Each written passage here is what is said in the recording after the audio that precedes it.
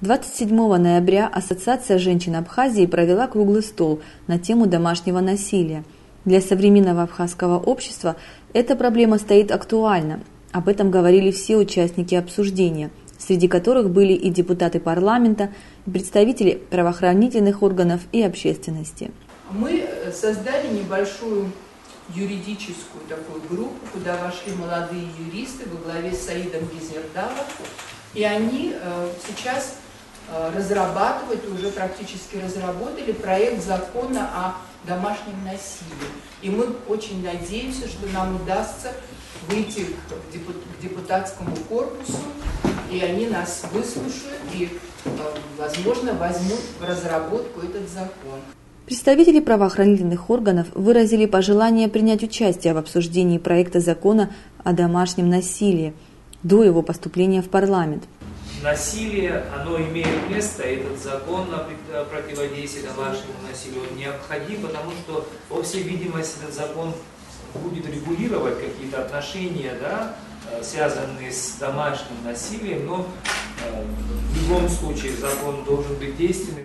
Юрист Саид Гизердава отметил важность создания кризисных центров для жертв домашнего насилия. Об этой идее говорили представители Ассоциации женщин Абхазии.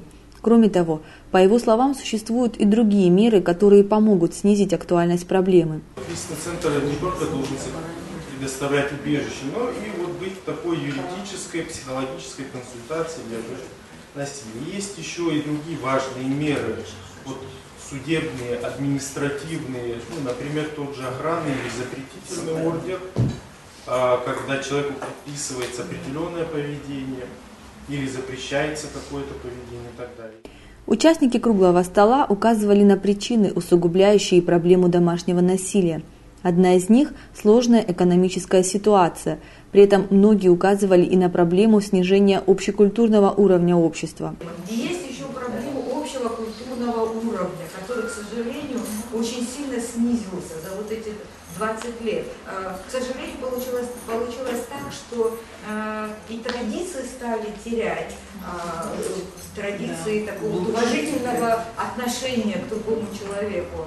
А, и другие как бы, ценности к нам, у нас не очень укрепились. И вот получилось так, что общекультурный фонд уже значительно снизился. И вот в этой вот такой ситуации вот возникают эти проблемы. Дело в том, когда человек знает, что ему противостоит целая новое общество, он никогда ему вызов не бросит. Это что касается обычая, да?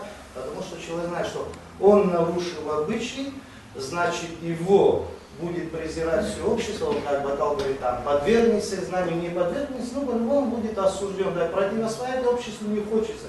Мы же сводим свою жизнь, нас как бы, еще раз прошу меня правильно понять, это мои наблюдения, да, вот мы идем там по европейскому пути, к сожалению, уже возвратом на на этот перекресток и выход на другой путь у нас не получится, но коль мы выходим на этот путь, мы должны понять, что вот в отсутствии противостояния обществу и обычаю, да, закон у нас будут нарушать.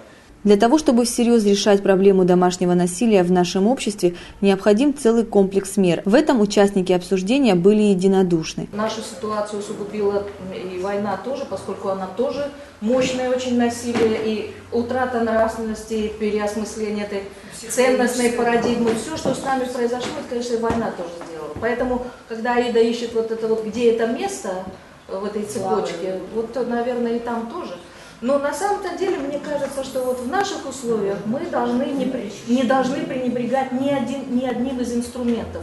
Мы сейчас и новые создаем, и пытаемся перезапустить старые какие-то механизмы. Поэтому вот новое. Во-первых, омбудсмен.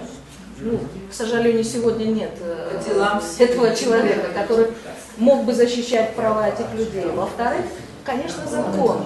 Там, в-третьих, э, создание ну, сети, может быть, каких-то неправительственных организаций, общественных, которые занимались бы этими вопросами. Подводя итоги, председатель правления Ассоциации женщин Абхазии Нателла Акова сообщила о том, что руководство страны поддерживает идею создания кризисного центра для жертв домашнего насилия. Депутаты парламента также готовы к рассмотрению проекта закона о домашнем насилии. А Ассоциация женщин Абхазии со своей стороны продолжит заниматься проблемой в рамках общественной приемной.